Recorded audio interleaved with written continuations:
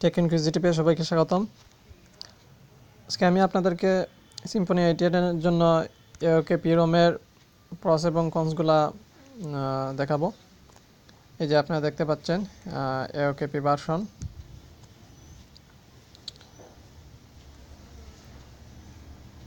এটা হচ্ছে status bar এখানে বেশ কিছু কাস্টমাইজেশন অপশন আছে। স্ক্রিনশট নিতে পারবেন স্ট্যাটাস বার থেকে।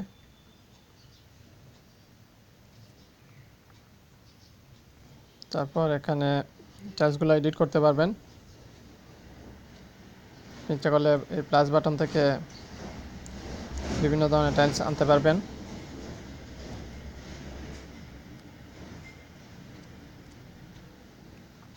এটাতে ক্লিক করলে আপনার স্ক্রিন অটোমেটিক লক হয়ে যাবে।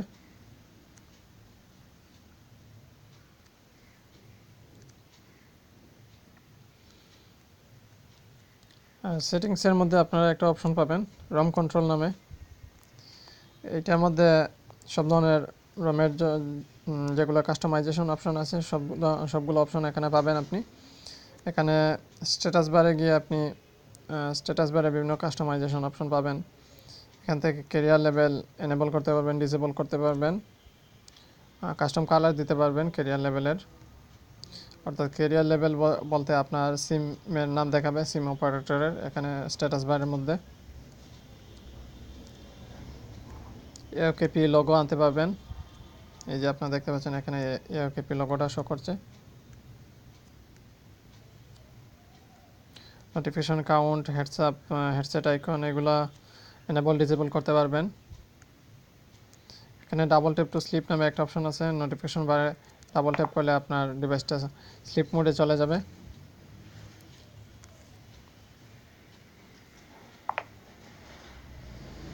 এখানে একটা ইউজফুল ফিচার হচ্ছে breathing miss call breathing voice mail অর্থাৎ আপনার যদি কোনো মিস কল নোটিফিকেশন থাকে তাহলে স্ট্যাটাস বারের মধ্যে এটা অনেকটা ব্লিঙ্কিং করবে নোটিফিকেশন আইকনটা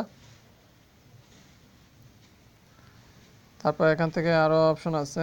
আপনি বেটার স্টাইল টেক্সট দিতে পারবেন অনলি টেক্সট তারপর সার্কেল বার আনতে পারবেন, এই যে সার্কেল বার আসছে ব্যাটারির আইকনও করতে পারবেন। সো আমি টেক্সটটাই পছন্দ করি, তাই আমি টেক্সট রাখলাম। লোকেশন চেঞ্জ করতে পারবেন ব্যাটারি বারের এখানে ক্লক স্টাইল চেঞ্জ করতে পারবেন নেটওয়ার্ক ট্রাফিক এনেবল করতে পারবেন। তাহলে আপনার ইনকামিং এবং আউটগোয়িং যে আপ ডাউন স্পিড আছে ইন্টারনেটে সেটা শো করবে।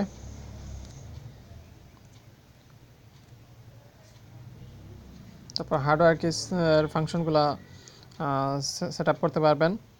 যেমন পাওয়ার বাটন দ্বারা আপনি কল কোনো কল আসলে সেটা কেটে দিতে পারবেন। এখানে হোম বাটনে প্রেস করে আপনি ডাইরেক্ট কল রিসিভ করতে পারবেন। তারপর মেনু বাটন হোম বাটন এগুলোর জন্য বিভিন্ন ধরনের ফাংশন সেট করতে পারবেন। যেমন ভলিউম বাটন ইউজ করে ফোন স্ক্রিন অন করতে পারবেন wake up device using volume buttons volume up down button দিয়ে কিবোর্ড কার্সার কন্ট্রোল করতে পারবেন আপ রাইট এবং লেফটে নিতে পারবেন। এখানে নেভিগেশন বার অন অফ করতে পারবেন। এই যে আমার নেভিগেশন বার অন করা আছে, এটা দিলে নেভিগেশন বার চলে যাবে। নেভিগেশন বারে কাস্টমাইজ করতে পারবেন। এখানে double tap to sleep navigation বারে ডাবল টেপ করলে আপনার ফোন স্লিপ মোডে চলে যাবে, অর্থাৎ স্ক্রিন অফ হয়ে যাবে। এখানে আপনি দেখতে পাচ্ছেন যে এই যে একটা আইকন এটা আজকে দিয়ে আপনি স্ক্রিনশট নিতে পারবেন। ইজিলি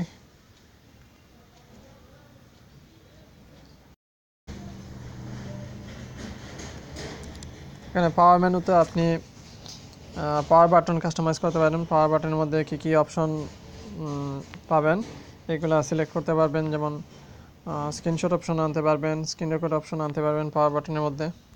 এই যে দেখতে পাচ্ছেন স্ক্রিনশট অপশন চলে আসছে।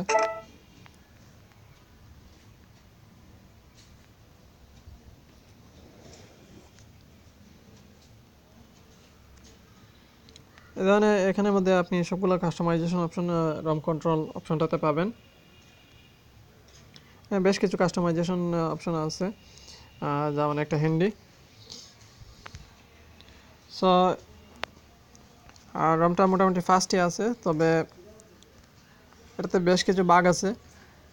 প্রথমে আপনা, আমি আপনাদেরকে যে বাইকটা সম্পর্কে দেখাবো, সেটা হলো ক্যামেরা। এটা ক্যামেরাতে একদম ডার্ক আসে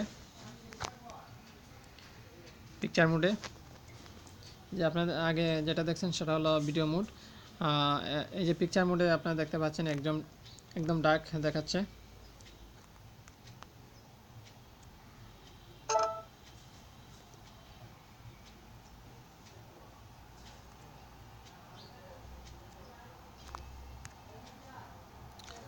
ফ্ল্যাশ লাইট ছাড়া আপনার ফটো তুললে একদম কালো আসবে।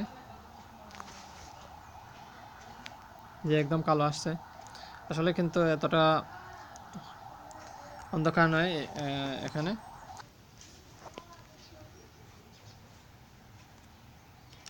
আপনার ইচ্ছা করলে গুগল ক্যামেরা দিয়েও দেখতে পারেন। গুগল ক্যামেরা দিয়েও ফটো ডার্ক আসে। তবে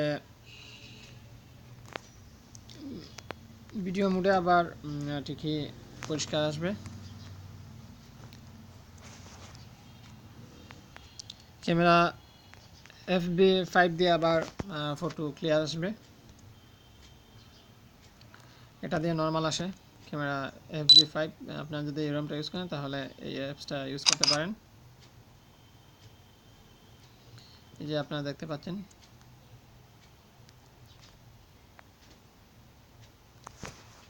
এটা দিয়ে ফটো ক্লিয়ার আসছে। তবুও এটা স্টক রুমের মতো ভালো আসবে না পিকচার কোয়ালিটি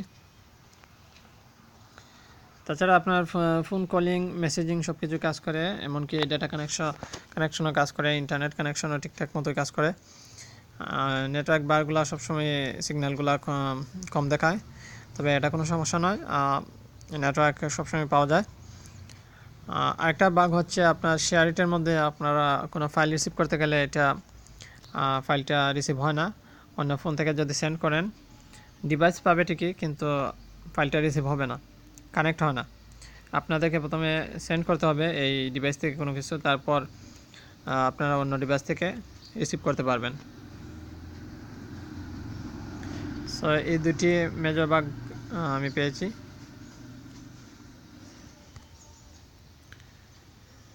তাছাড়া রমটা মোটামুটি ভালোই আছে। স্টক রমের চেয়ে আমার কাছে ফার্স্টই মনে হয়েছে। আর অনেকগুলো কাস্টমাইজেশন ফিচার আছে।